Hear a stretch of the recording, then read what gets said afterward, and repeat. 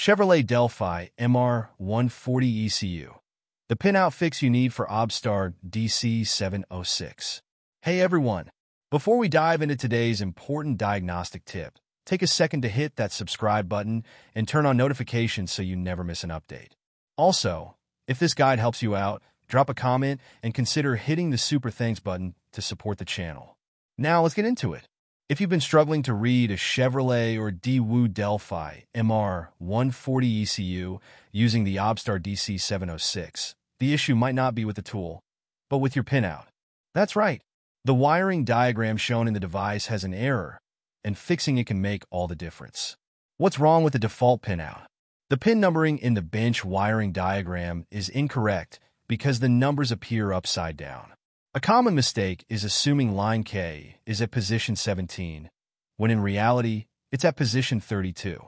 This small mix-up can cause failed reads and wasted time. Here's the correct pinout. Thanks to Ramirez for sharing this corrected pinout setup, which ensures a smooth connection. Ground, M37, M38, M39, M40, M41. Plus 12V power supply. K1, K17. Ignition, K18.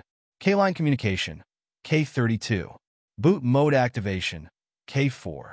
Using this setup, along with a stable 12V power supply, minimum 5A.